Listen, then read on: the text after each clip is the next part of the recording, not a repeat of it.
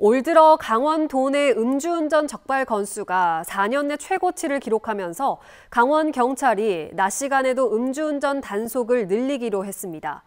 통상적인 야간 단속과 함께 음주 사고가 자주 일어나는 아침 6시부터 8시 사이 또 오후 4시부터 6시 사이에도 음주 단속을 병행합니다.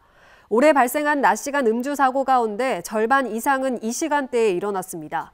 한편 도내 1월부터 3월 음주운전 적발 건수는 올해 1,071건으로 지난 2020년부터 4년 평균 927건보다 100건 이상 크게 늘었습니다.